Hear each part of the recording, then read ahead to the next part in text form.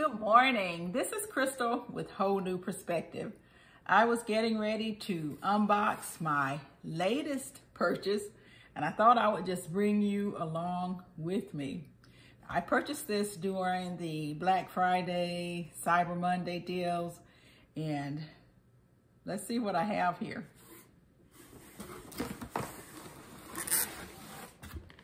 I purchased another AeroGarden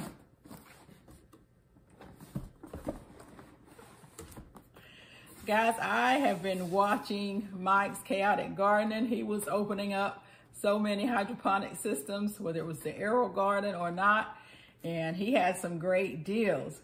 I'll link, I'll link him. him down below. I also, when I purchased this system, I was very excited. And the reason I purchased it was because there were so many other things with it. This seed uh, gourmet herb kit came with it. But this is what I'm very excited about. Yep. This is a seed starting system. So I'm very excited to have this. I plan to use this this spring to help me get a head start on my outdoor container garden.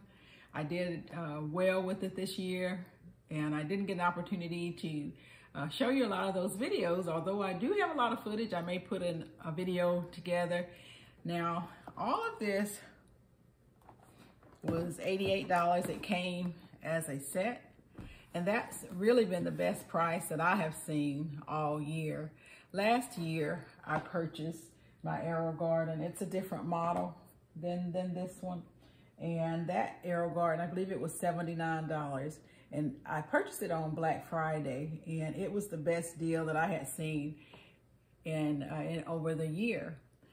And when I went back to purchase another one for my daughter on Cyber Monday, it didn't have the same deal. I still purchased it for her, but it was more than that particular $79. So I am excited to have another hydroponic system. I mainly grow lettuce in this particular AeroGarden. So I'm gonna try to grow a lot of different things in this one, but I'm also going to use this seed starting system. Now this seed starting system alone was $49. So to get, and these are usually $15. So to get these as well as this system was really a great deal for me. And so I look forward to bringing you some more footage. I won't show you uh, I won't show me setting this system up because I have a full video of when I unboxed this one and I set it up last year.